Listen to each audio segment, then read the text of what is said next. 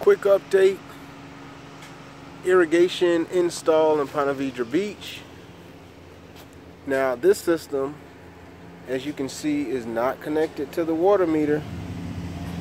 And this is becoming much more common especially for environmentally conscious people. And people that want to save money those are my people.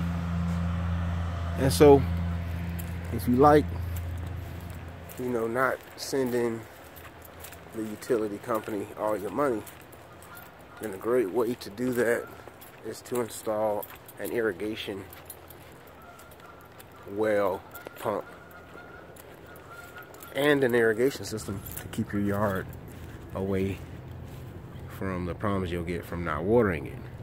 So once once they get the irrigation system in, then now you can go ahead and treat your, your problems in your lawn and then your lawn can recover because it'll have the regular watering that it needs so that the grass will protect it from weeds because it'll just be established and strong. Really, that's the best defense from weeds is an established lawn. What it does is it crowds out the weeds. So that's really the best way. Side note, irrigation system. And irrigation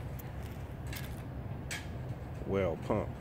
Now this is a six zone system, six stations, three in the front, three in the back, and we're gonna leave an extra one for the rear for ex extra expansion. We're only gonna use two in the back here, but they're, they're doing some work in the bulkhead so we're gonna wait till that work is completed before we run the rest of the irrigation up against the bulkhead.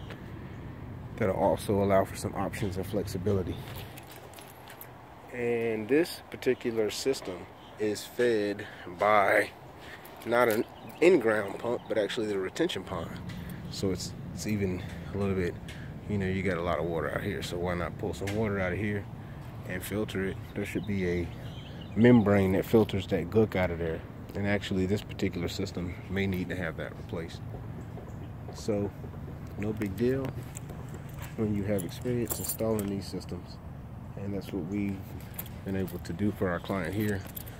They won't have to worry about their expense primarily would be running the pump which is much cheaper than buying water by a long shot. And you can even run this pump with a solar panel.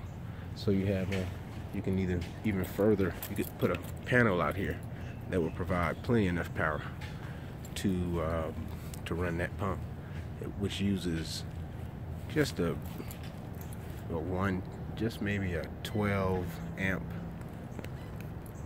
12 amp 110 watts just a regular plug nothing fancy.